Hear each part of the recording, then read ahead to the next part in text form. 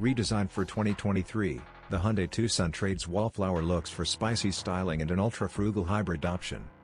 This 5-seat SUV has a spacious, well-equipped cabin with plenty of standard tech and even more on the options list. Non-hybrid versions use a 2.5-liter inline-4, while hybrids swap in a turbo 4 that works in concert with an electric motor to conserve fuel and add power. All-wheel drive is optional with the base engine and standard on hybrids. The Tucson aced crash testing, landing a top safety pick plus award. All models come with automatic emergency braking and active lane control, while blind spot monitors, adaptive cruise control, a surround view camera system, and blind spot cameras are on the options list depending on trim level. Gas models are rated as high as 26 miles per gallon city, 33 highway, 29 combined with front-wheel drive, though all-wheel drive tents those figures to 24-29 26ths of a mile per gallon.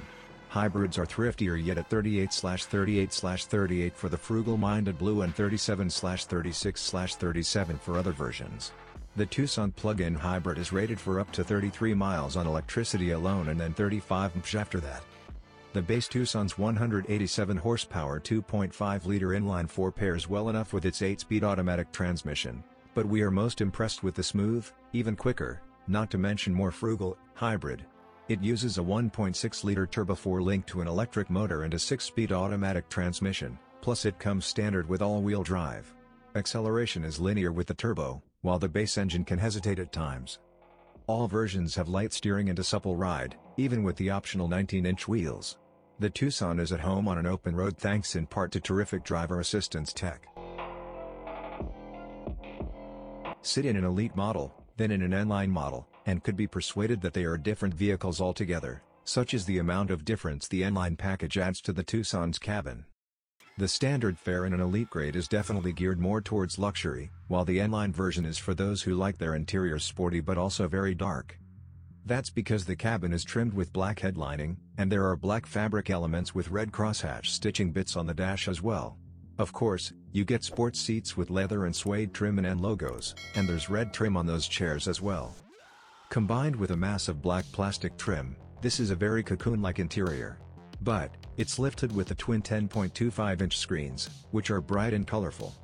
The controls for the aircon and media take some getting used to, as they are a haptic-style touch-sensitive setup, which can be hard to get to grips with, literally, when you're driving. At least it's a bit more usable than some other cars which run everything through the screen. There's SatNav, which includes new cloud-based navigation thanks to the addition of Hyundai's Blue Link tech, or you can connect your phone via USB for smartphone mirroring, Apple CarPlay and Android Auto. There is good storage, including cup holders between the seats, a caddy in front of the gear selector for a phone slash wallet slash keys, bottle holders in the doors, a covered center console bin, and a section under the bridge of the center console for bigger items. If you have children, there are ISOFIX points in the window seats and top tether attachments for all three spots. There are directional vents in the back, and a pair of USB charge points as well. Storage is sorted by way of a pair of cup holders and a flip-down armrest, bottle holders in the doors, and mesh mat pockets on the backs of both front seats.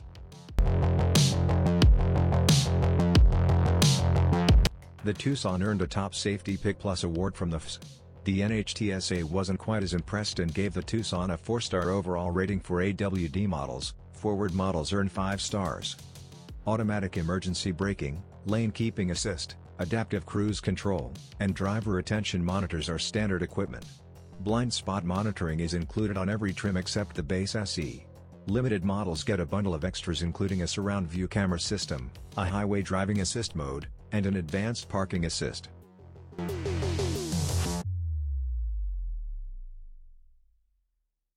Despite its affordable price point, there's nothing cheap about the Tucson's driving dynamics. The Tucson feels stable and sure-footed when navigating turns, the steering is responsive and sufficiently weighted, and its pliant suspension soaks up bumps and dips in the pavement with aplomb. It's quite easy to park and maneuver in tight areas as well, and the brakes provide strong stopping power. Overall, the Tucson offers a nice blend of comfort and agility.